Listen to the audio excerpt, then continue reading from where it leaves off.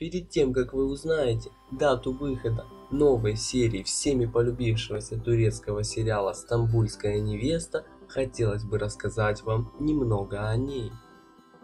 Сюрея сталкивается со своим прошлым. Она замыкается в себе, даже с Фаруком не хочет поделиться своими чувствами. Эсма и Гариб едут в компанию, они натыкаются на нововведение Адема и Фикрета под названием «Счастливая пятница». Эсма разозлилась на них и обвиняет в безответственности. А отношения Дилары и Мерта продолжают подвергаться испытаниям. Фарук занят обустройством ресторана. Заметив подавленное состояние Сюреи, он подумает, что это связано с открытием нового дела.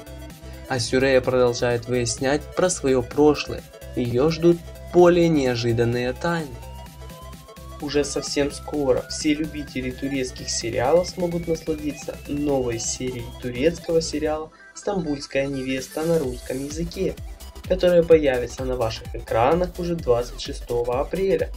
Всем спасибо за просмотр, подписывайтесь на канал, ставьте лайки, комментируйте видео.